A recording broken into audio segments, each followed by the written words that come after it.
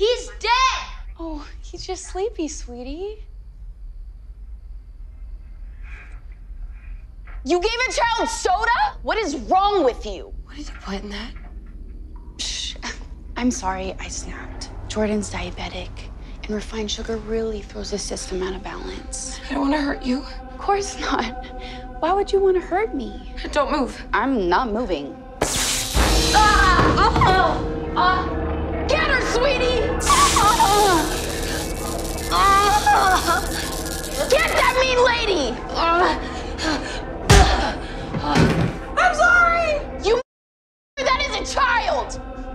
You better pray he doesn't have a concussion.